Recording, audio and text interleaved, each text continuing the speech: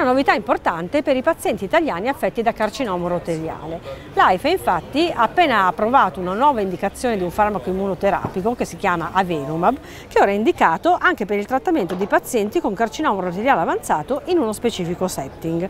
Noi ci facciamo spiegare esattamente in che cosa consiste questa novità e quali sono il suo valore e le sue implicazioni da un esperto, il professor Sergio Bracarda. Professore, ci spiega innanzitutto che cos'è il carcinoma roteriale? È un insieme di neoplasie che interessano l'apparato urinario, quindi l'apparato che fa uscire l'urina distinguiamo normalmente un'alta via escretrice che è rappresentata da rene, uretere, quindi da, dalla parte diciamo così, più prossimale e una bassa via escretrice che è rappresentata dalla vescica che globalmente è il 70% dei tumori uroteliani. Quindi quasi sempre si parla di, di, vescica, ma in effetti il panorama dovrebbe essere più ampio. C'è inoltre una piccola parte dell'uretra prossimale. Veniamo alla novità di oggi, cioè la disponibilità in Italia di questo nuovo farmaco Avelumab. Ci spiega che cos'è e come agisce? Avelumab è un inibitore di checkpoint, uno dei nuovi farmaci immunitari attualmente disponibili. In dettaglio un inibitore di PDL1, il meccanismo d'azione è legato alla capacità di questi farmaci di favorire l'attivazione del sistema immunitario verso le cellule tumorali che tendono a nascondersi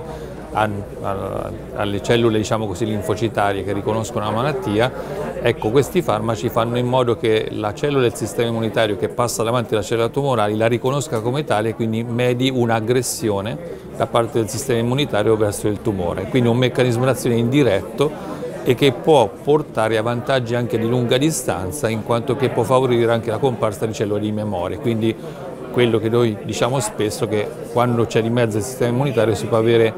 eh, un po' come per i vaccini fondamentalmente un'azione che va anche oltre la durata del trattamento stesso. Professore, ma ci spiega esattamente per quali pazienti con carcinoma rotagliale è indicato Avelumab? È, una, è l'alimento centrale di, questa, di, questo studio perché eh,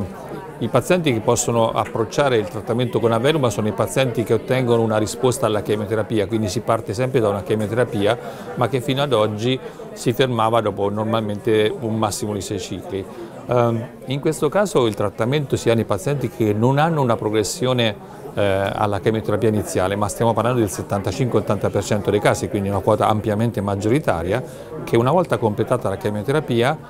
iniziano questo mantenimento con Avelumab per cercare di stabilizzare il vantaggio che è stato ottenuto e che altrimenti avrebbe una durata mediamente abbastanza breve. La disponibilità di Avelumab e quindi la sua approvazione arriva sulla base dei risultati un, molto solidi di uno studio che è lo studio Javelin Bladder 100. Eh, ci spiega che cos'è questo studio e che risultati ha dato? Lo studio è stato molto ben disegnato, è uno studio controllato, randomizzato in, eh, in open, quindi in non a doppio cieco fondamentalmente, che confrontava la chemioterapia fino al massimo di sei cicli fondamentalmente verso la stessa chemioterapia fino al massimo di cicli ma dovevano essere effettuati almeno quattro, questo è un dettaglio importante e il braccio sperimentale iniziava anche la Velumab. Sono entrati in uno studio 700 pazienti con malattia dell'alta e bassa via escretrice e i pazienti che hanno fatto trattamento con Avelumab hanno avuto un vantaggio in sopravvivenza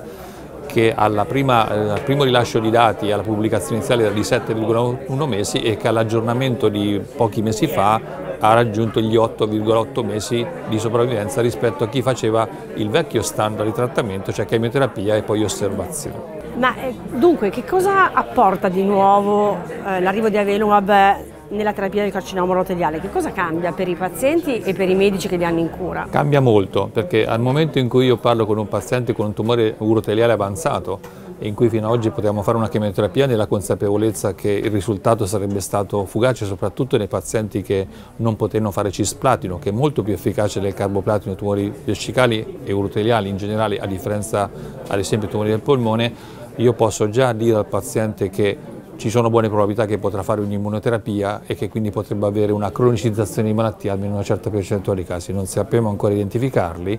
possiamo già discutere di questo al momento dell'inizio, avere un rapporto più umano con il paziente stesso, offrirgli una possibilità, recuperando anche una quota di pazienti che potrebbero anche avere avuto una chance diciamo, di trattamento con chemioterapico gravata soltanto da elevati rischi di tossicità senza vantaggi concreti nella modifica della della malattia. Ecco, con questo trattamento abbiamo modificato sanatorio di malattia e soprattutto per il paziente non completa la chemioterapia sapendo che dovrà attendersi una recidiva di malattia, ma sa che potrà giocare una carta che potrebbe aumentare la probabilità di controllo e quindi partendo già dall'inizio. E da un punto di vista etico e comunicativo, mettendosi in parte i pazienti, questo fa la differenza.